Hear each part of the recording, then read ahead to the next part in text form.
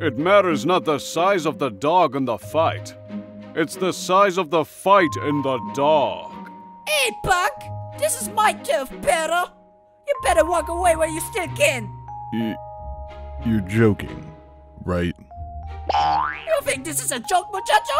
You won't be thinking it's fun in about five seconds, punk! I will mess you up, gringo! I'ma beat you down so bad your kids are gonna feel it when you...